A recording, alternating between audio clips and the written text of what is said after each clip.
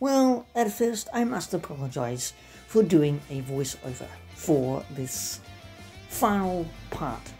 The Uncharted from the games to the movie. I really wanted to do a voice and piece to camera. A voice to piece to camera. Well, you know what I mean. But I thought I would do the last one in this format. A voiceover format. Yes, so welcome to the PGM show. I'm your host, Peter Ward McKinnon. And yes, again, this is Uncharted from the games to the movies.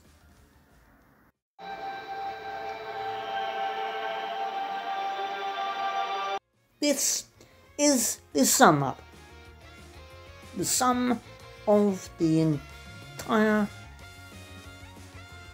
weeks and months I've had to give to you, the people of YouTube, to enjoy the Uncharted storyline. I've talked to friends, I've mentioned this to friends from the YouTube channels that I watch that have played this game and loved it immensely, as I have. I have talked to you about my childhood growing up playing in arcade game parlors, small and big, playing the arcade games and loving the games like Galaga, Space Invaders, sit in Star Wars, Star Wars, uh, Star Wars games in game parlors and pinball and the like. Also, I'll talk to you about the consoles we've had at home. The Commodore 64s, Atari, Spectrum, and the games with the James Bond, with the PS4, PS3, PS5, and the digital and the technology age and the digital age that has taken online gaming by storm. Because you can sit at home day or night and really play with friends all over the world. So the evolution of game parlors and big gaming consoles, games, electronics with your mates, yes, you can still do that, but really, mainly people stay at home and play on their PS, PSs, or their Xboxes, or even their PCs at home. And that's okay. So the evolution has gone in the way of digital and mocaps because it brings me to the Uncharted games. Although the Uncharted games started on PS3 and it probably wasn't a mocap suit, somebody could probably correct me on that, and please do. But on the Uncharted 3, A Thief's End, there was a lot of mocap motion going on. With, yes, actors on in suits, doing the T-bar, getting it all lined up, and then you act the scene, and then you do it over and over again. It takes months and years. With that process being and that storytelling in telling this wonderful story from Uncharted 1 and then 2 and then 3 and then 4 and even on uh, Legacy which I'm not going into that had Sam Drake in that and Nadine and Chloe. Also a great game. This franchise franchise's story and storyline was absolutely wonderful wonderful in the notion of how these two characters met. I mean, Ellie and Nathan. And then how the story revolved around treasure and treasure hunting and not getting that treasure because all the lost cities really destroy themselves and the myths destroyed it for them. They only came up with golden trinkets. But in the first one, yes, in the first one, Sully came away with a chest or a trunk of gold so they could further on their adventures. But it's just not that for me. Yes, the gameplay was great in some places, be it difficult in times of aiming in the collection, one from three, but four was awesome because it had a different element but kept it in the same element.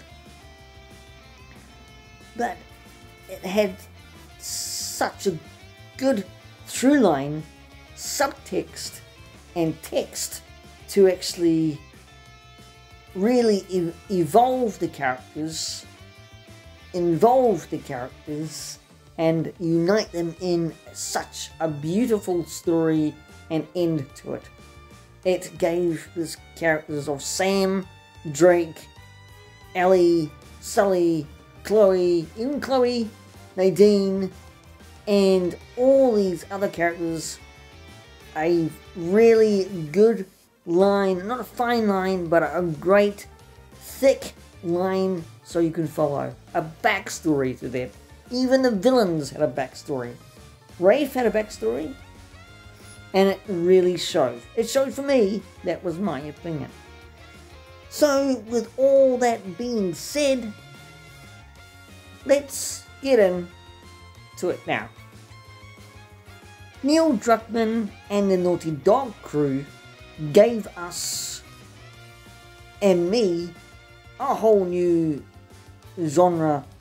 Well, not such a genre, but a whole new look on how games and gaming stories can be told. He was going to do a Ratchet and Clank upgrade, but really, that really fell apart. And it fell apart because they wanted a new IP. They wanted to do something different. So they did. They found Uncharted. And they found Nathan Drake and Ellie's storyline. With a well written character, Nathan Drake, and around that, a good cast of characters that evolved in time and in place.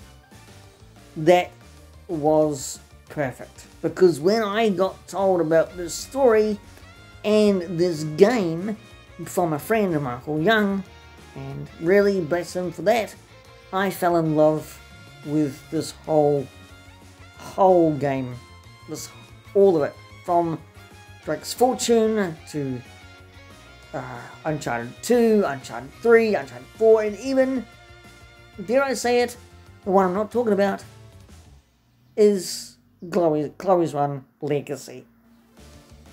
And uh, long may it evolve into this goodness that I'm hearing about the reboot of Uncharted. But it doesn't really stop uh, from there. Naughty Dog has gone on to create some wonderful and imaginative and very gruesome and very apt and very fantastical storylines in The Last of Us and Last of Us 2 and made that continue. And it will, and it has. I've heard on the grapevine good things are coming out of Naughty Dog. Whether you like it or not, this game, it's got something for everyone. Fun, laughter, thrills, spills, action. The gameplay on Thief's End is just awesome. The comedy is just brilliantly funny. The dry sense of humour, the sarcasticness of Drake and sometimes uh, Sully and Ellie, and it, it, it's just brilliant. It just flows with tenderness. The arc of Ellie's marriage nearly breaking up because Nathan lied. It, it's all there. It is a romantic comedy, it's a comedy, it's drama, it's action, it's got all that you want. A treasure hunt and just a fantastic world building sense of wonder. Going from jungle, going from Madagascar, going from cities, going to sand, going to sea, going to, I mean, deserts, I mean, going to uh, dense forests, jungles, you name it, it has it. And that's the world building of these guys. These brainiacs, these monumental uh, treasure hunters themselves to actually seek out the story and give it gravitas.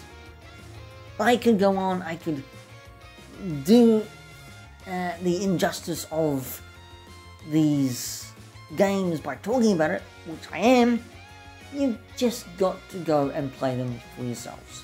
You'll have wondrous and wonderful, fun, action packed times. I've heard from Mark Shabby Geek that he has played them and he has enjoyed them. I don't want to put words in, the, in, the, in his mouth, but he said they are brilliant. And I would agree.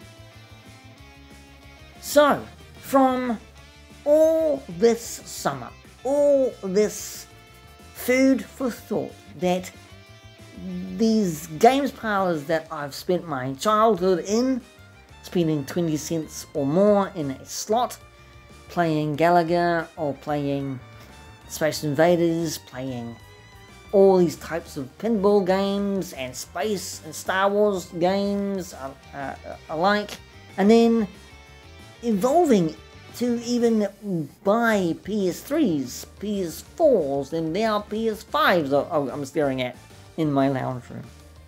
Having the, the added bonus to go out and buy them still in a shop. I mean, the physical media games, but also to have that chance to play online with mates across the world in digital and online form. These games, these storylines from Naughty Dog are getting better and better and better.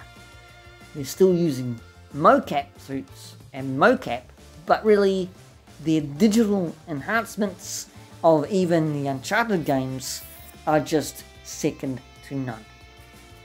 And really, uh, the games that are evolving now that you can put your phone into these eye goggle things and uh, play a very realistic game is just and has intensified the gaming world and it will get more and more technologically advanced more digitally digitally advanced in years to come.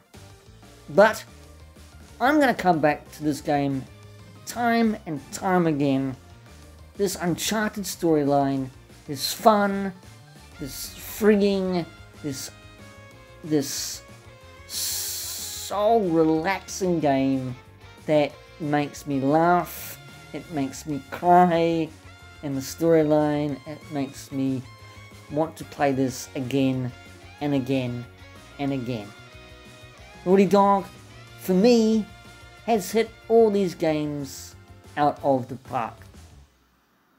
Right out of the park for me. I think Naughty Dog has really cornered the market, in my opinion, with Uncharted, even with Ratchet and Clank and Crash Bandicoot. And now they're seeking new heights in Last of Us 3, I hear on the grapevine. They're seeking new heights in The Last of Us Factions, which will be an online gaming franchise to uh, keep on going with Last of Us. And with their new IP, which looks medievalish, it has to get better. And it does get better, and it has got better. And, and it has got gotten better. Anyway, enough of me wobbling. That is my sum up. I hope you have enjoyed this Uncharted from the games to the movie parts in weeks and months. I do, however, have an extra bonus for you. I said this when I was going to do sum up that I was going to review Nathan Drake, the game Nathan Drake action figure, Nolan North's mocap action figure, but action figure review, if that makes any sense. And that's going to be another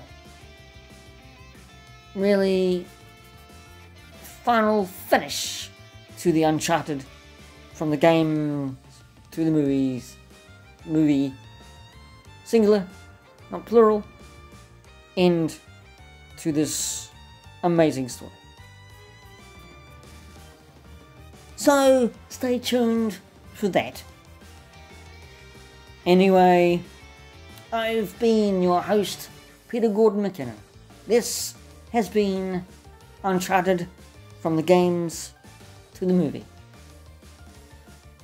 I hope you are all having a wondrous, fun time and gearing up for 2023. For me, here in New Zealand, it is New Year's Eve. And I take away from 2022 a sense of happiness, gladness, that I've met so many wonderful friends across the world, from the UK to USA to Canada to Japan and here in this part of the world, Australia and New Zealand. So thank you one and all for including me in to all your toy communities, your action figure collecting toy communities. From me, Peter Gordon McKinnon, thank you so much. And I, if I haven't said it, take care, stay safe, and I'll see you next year.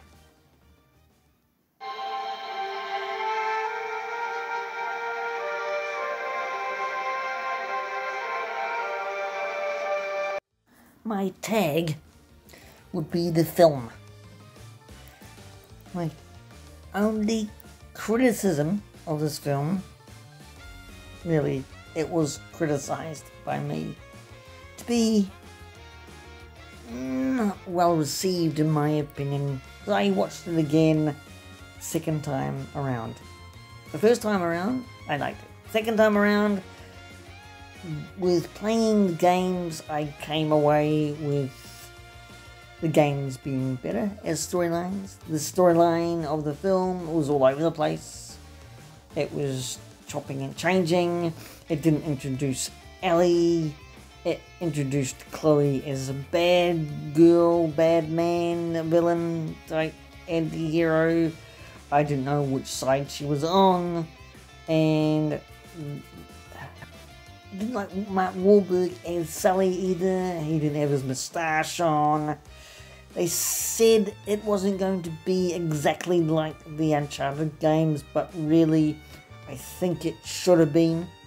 I think they should have introduced Ellie. Elena, sorry. Uh, Elena, not Ellie. Thinking about Last of Us. They should have done that, but they didn't. That was missed. It was missed out. Only thing I enjoyed was the music when he put his shoulder holster on. All the Uncharted music being Nathan Drake. Uh, and Nolan North's cameo, isn't it? That's all I enjoyed. I'm sorry, I say to you, if you like it, you like it.